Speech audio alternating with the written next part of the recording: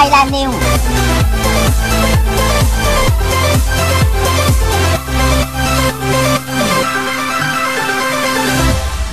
บริษัทอีซี่บายโดยมิสเตอร์ทาเคโอโนดะ ประธานกรรมการและประธานเจ้าหน้าที่บริหารได้มีการจัดแถลงข่าวกิจกรรมยูเมะพลัส Money Fitness Season 2ภายใต้หัวข้อใช้เงินยังไงให้อยู่เป็น กับการประกวดสตอรี่บอร์ดเพื่อนำไปผลิตหนังสั้นไม่เกิน 3 นาที ชิงทุนการศึกษารวมกว่า 150,000 บาทเพราะมีการมอบประสบการณ์เวิร์กช็อปให้เป็นนักเล่าเรื่องที่ดี ฝึกการผลิตหนังอย่างมืออาชีพ และได้มีการนำความรู้และการวางแผนการเงินมาปรับใช้ในชีวิตจริง ซึ่งภายในงานเรายังมีการเชิญนักแสดงหนุ่มอย่างคุณก้าวเจียวรายุเหลามณีมาร่วมเป็นกรรมการรับเชิญในครั้งนี้ด้วยค่ะ ส่วนงานนี้อะไรจะเป็นอย่างไรเดี๋ยวเราไปฟังกันเลยดีกว่าจ้า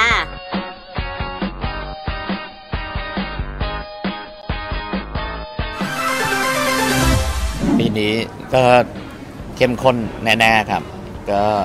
มีมีกิจกรรมดีๆ แบบนี้กลับมาอีกครั้ง ซึ่งซึ่งอย่างอย่างที่เมื่อกี้พูดบนเวทีนะครับว่าโอเค ทั้งในส่วนของเวิร์กช็อปและในส่วนของอาการให้ความรู้ในเวิร์กช็อปและตอนที่ไปออกกองเนี่ยก็น่าจะเข้มข้นแน่ๆครับแปลว่าปีนี้ก็ต้องแบบเข้มยากกว่าปีที่แล้ว โจทย์ผมว่าโจทย์ไม่ยากนะ ปีนี้ผมว่าโจทย์เอื้อให้ทำมากมากกว่าปีที่แล้วด้วยซ้ำนะครับค่ะนะคะส่วนพี่นะคะสำหรับครับปีนี้เป็นไงคะก็อย่างที่พี่อู๋บอกเมื่อกี้ว่าโจทย์มันโจทย์มันสนุกครับ แต่ว่าสิ่งที่อยากฝากคือให้ให้คิดแบบมันเป็นเรื่องของเราเองอะ่ะเพราะว่ามุมมองเรื่องเงินของของน้องๆนักศึกษาที่จะส่งมา ผมว่ามันพิเศษแน่ๆให้ให้คิดเลยว่าอะไรที่ตัวเองอินที่สุดแล้วส่งมา ผมว่าอยากเจอตอนเวิร์กช็อปอะสนุก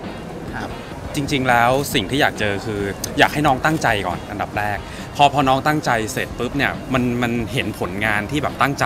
พอตั้งใจพวกเราก็อยากจะช่วยให้ผลงานนั้นมันแบบดีขึ้นเรื่อยๆ อย่างเงี้ยครับก็เชิญชวนน้องๆทุกคนให้แบบเอ้ยลองลองมาทำกันดูนะครับแค่แค่ทำน้องก็ประสบความสำเร็จละครับผมน้องก้าวแล้วคะปีนี้มาร่วมเป็นกรรมการด้วยสิ่งที่เราอยากเห็นในโปรเจกต์นี้เป็นยังไงคะก็จริงๆก็อยากเห็นเรื่องของเออ การสร้างสรรค์งานนะครับผมการสร้างสรรค์ไอเดียที่เอ่อไม่มีขีดจำกัดจริงๆนะแบบว่าเป็นสตอรี่บอร์ดนะครับสามารถที่จะคิดอะไรวาดอะไรแบบได้ทำเต็มที่ได้หมดเลยครับก็ครับคาดหวังว่าจะได้เห็นมุมมองด้วยของคือเดี๋ยวนี้โลกมันเปลี่ยนเร็วอะครับ ถึงแม้ว่าผมเองก็จะยังวัยรุ่นอยู่อะไรเงี้ยหรือเปล่าครับ ก็แต่ว่าผมก็คิดว่ารุ่นที่ใหม่กว่าผม ขนาดว่าไม่กี่ปีอะไรเงี้ยครับ ก็อาจจะได้เห็นมุมมองที่มันแตกต่างกันไปแล้วอะไรเงี้ยก็อยากดูครับ อยากให้เชิญชวนให้นักศึกษา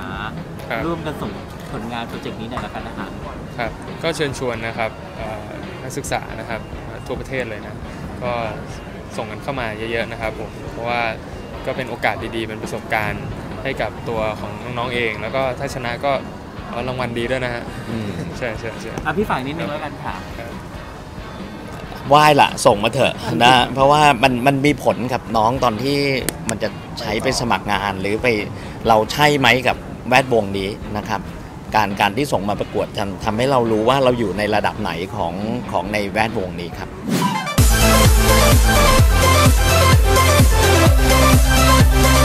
ชั้น8 Thailand New